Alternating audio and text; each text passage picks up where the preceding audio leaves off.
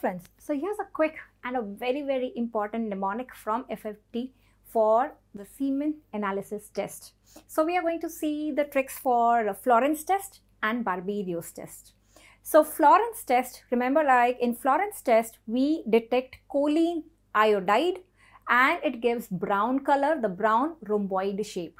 Remember all the halides. You have chlorine, fluorine, iodine and bromine.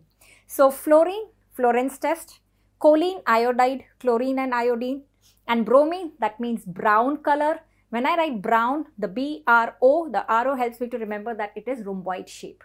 So that is Florence test. Now we come to Barberio's test. So imagine barber. Some of you might have been to barber, let's say for shaving, and barber ka dhyan nahi hai, and suddenly there's a prick that happens.